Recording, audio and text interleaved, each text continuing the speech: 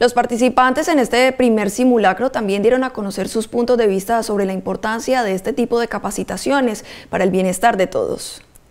Desde el área administrativa se prepararon de manera técnica para lograr el éxito del primer simulacro del año 2019 de la S Hospital Departamental Tomás Uribe Uribe. Eh, la brigada está conformada por 40 brigadistas y también hay un, equipo que es el CHEC, que es el Comité Hospitalario de Emergencias, que está eh, integrado por todo lo que es la parte como administrativa, lo que maneja los recursos y lo demás. Y la preparación ha venido siendo de una forma directa. La administración ha estado comprometida con lo que es el tema de la brigada, eh, la ARL Colmena, a la cual pertenecen los funcionarios del Hospital Tomás Uribe, son quienes nos brindan esas capacitaciones. Hemos venido en esta tarea durante lo corrido del año y sobre también años anteriores, capacitándonos en todo lo que tiene que ver con el rescate, con el control de incendios, con lo, con lo que tiene que ver con evacuación. Hemos capacitado a los líderes de evacuación, también se ha hecho la capacitación a todo el personal en caso de un incidente o algún tipo de emergencia, qué se debe hacer y esto se ha tratado de hacer un voz a voz día a día y es una tarea que tenemos explícita y concreta todos los brigadistas, porque los brigadistas no pertenecen a una sola área, sino que los brigadistas están siendo conformados por todas las áreas del hospital. Llevamos cerca de mes y medio planeándolo.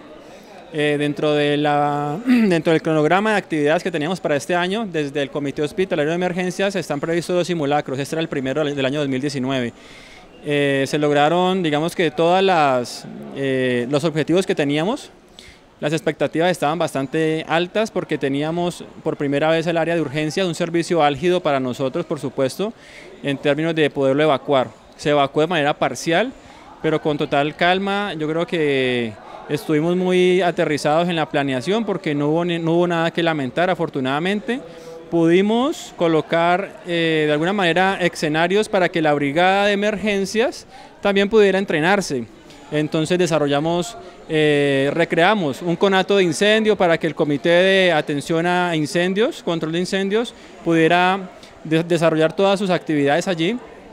Eh, también logramos que el Comité de Rescate, de Salvamento y Rescate pudiera hacer una inspección por todo el hospital, teniendo en cuenta que estábamos simulando un terremoto y encontramos, por supuesto, una persona atrapada que además requiere de que intervenga el, eh, el Comité de Primeros Auxilios y además enlazarlo con un posible abordaje que terminaría, que terminaría en un desplazamiento del paciente eh, al área de, o al servicio de urgencias. Para la defensa civil el balance es positivo. Hubo un paciente real, dos pacientes simulados, el ejercicio eh, se tardó 16 minutos en realización completa, sin embargo las ocasiones fueron completas, el demás tiempo fue en la atención de los pacientes falta mejorar, falta mucha capacitación, pero pues por lo menos ya se empezó, ya empezó el proceso como tal, es de las pocas instituciones que están empezando con el proceso de la brigada a nivel empresarial, a nivel institucionales, porque sean hospitales no quiere decir que les hace falta, no, todas las instituciones, desde colegios hasta hospitales deben manejar brigadas porque en ningún momento sabemos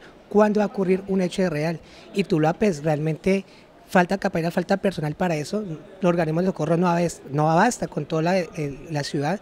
Son más de 240 mil habitantes que tiene el municipio de Tula y pues en contar las empresas, las entidades. Entonces nuestra función es como tal, como organismo de socorro, es a los hechos grandes. Cada empresa debe estar vinculada a la capacidad de atender los hechos pues, que ocurran dentro de sí mismas. El primer simulacro del año dejó varias situaciones por analizar para actuar correctamente a la hora de salvar vidas y contribuir a la seguridad de los pacientes y usuarios de la entidad.